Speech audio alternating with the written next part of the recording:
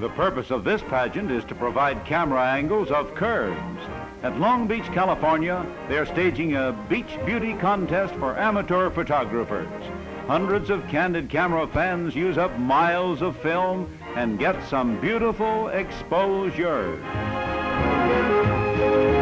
In the science of geometry, we learn acute angles, and this is a acute angle.